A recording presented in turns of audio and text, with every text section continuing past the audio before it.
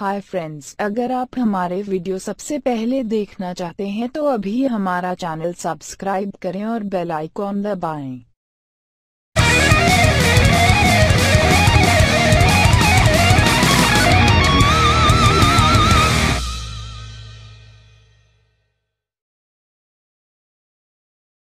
यह वीडियो एक काल्पनिक खबर पर आधारित है। इसका मकसद केवल हास्य, व्यंग्य स्वस्थ मनोरंजन और राजनीतिक कटाक्ष करना है। किसी की मानहानि करना नहीं।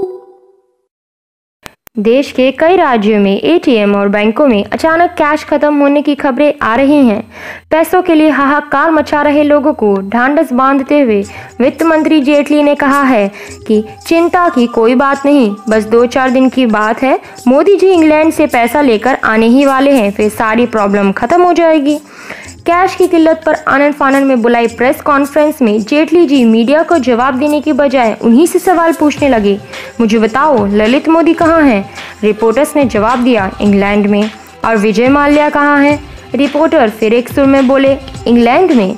बस इसीलिए इंग्लैंड गए हैं मोदी जी। ललित मोदी और माल्या, जो हमारे देश का पैसा दबाए बैठे हैं, वो उसी पैसे को निकालने के लिए इंग्लैंड गए हैं। और आप लोग समझ रहे हैं कि वो सैर सपाटा कर रहे हैं।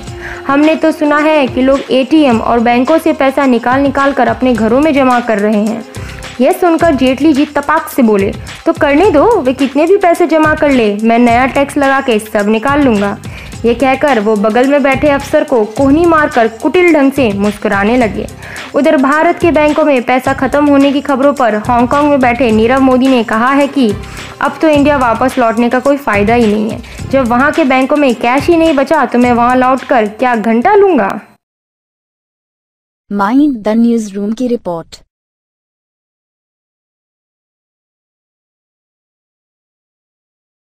उम्मीद है आपको हमारा यह वीडियो पसंद आया होगा। इस वीडियो को लाइक और शेयर ज़रूर करें और हाँ सबसे ज़रूरी बात, हमारे यूट्यूब चैनल को सब्सक्राइब करना ना भूलें।